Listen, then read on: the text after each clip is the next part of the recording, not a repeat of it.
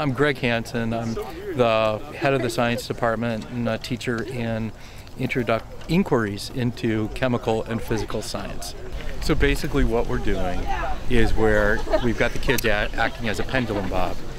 They're they're going to be able to measure their potential energy when they're at the top of the swing and their kinetic energy when they're at the bottom. We've got their height, we've got their mass at the top. That's all we need for measuring their potential energy.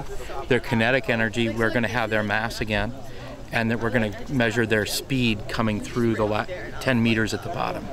And that's what all we need to do to measure kinetic energy. Will, whenever you're ready, let go. And then we actually compare the two by subtracting. And then that'll be the dissipative force that's working against them as they fall. A, a really direct application of something that we're talking about in classes.